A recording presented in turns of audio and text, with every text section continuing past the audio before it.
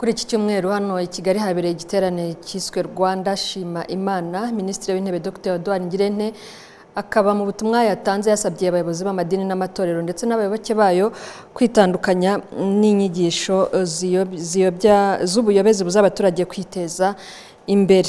Minisitiri w'intebe akaba yahagarariye perezida wa repubulika washimiye abateguye iki gikorwa nk'uko yabigarutseho mu butumwa yageneye abitabiriye iki giterane. Izina rya nyakubahwa paul kagame perezida wa repubulika y'u rwanda nishimiye kwifatanya namwe muri iki gikorwa cyiza mwateguye imana.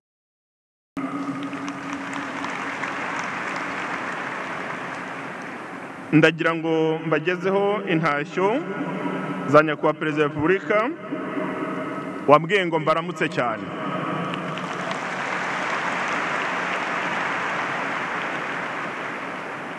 Kandi akaba yansabye kubashimira ubutumire mwamugejejeho.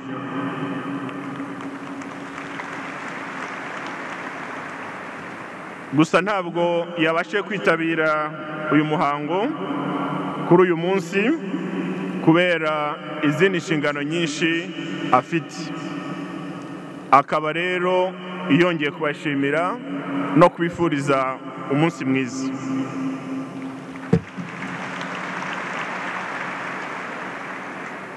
Guverinoma y'u rwanda rero irashima abagize bose uruhare mu gutegura iki giterane cyaduhurije hano uyu munsi kugira ngo dushimire imana ku ntambwe igihugu cyacu kigezeho cyiyubaka minisitiri w'intebe dr. Edouard ngirente akaba yavuze ko u rwanda rushima uruhare amadini n'amatorero yagize mu kubanisha neza abanyarwanda ndetse no mu bikorwa binyuranye by'iterambere.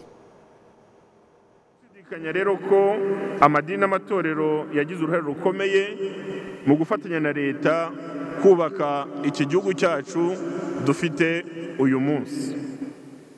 Nkaba ngira ngo rwose twongere twihe amashyi.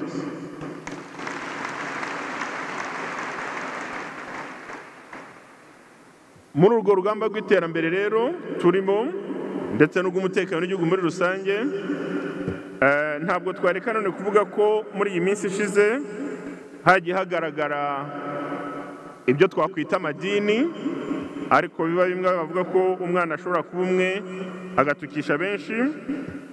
Yagiye agaragaza inyigisho zibuza abantu kwitabira gahunda za leta mu kwiteza imbere no guteza imbere imiryango yabo.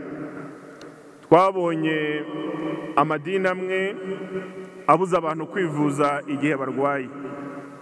Akababwira ko kwivuza kwa muganga ari icyaha. Twabonye amadini abwira abana ko kwiga ari icyaha ko kujya mu ishuri bitemewe. Twabonye amadini abuza abantu kwitabira umurimo avuga ko n'iyo utakora imana yagusangaho ikakugaburira. Twabonye kandi amadini amwe abwira abana gutandukana n'ababyeyi babo ngo ko ababyeyi bashobora kuba ari abanyabyaha.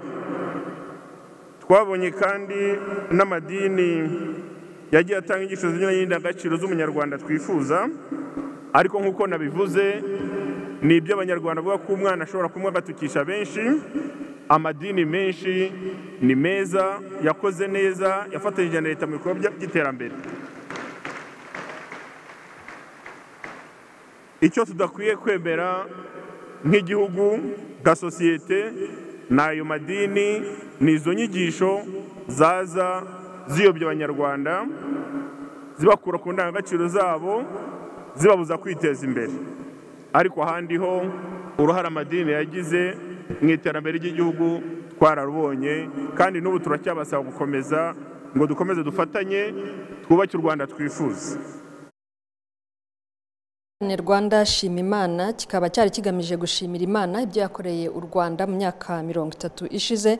Kikaba cyitabiriwe n'abantu bagera ku bihumbi mirongo itatu kirangwa n'amasengesho ndetse n'indirimbo zitandukanye zo gushima imana.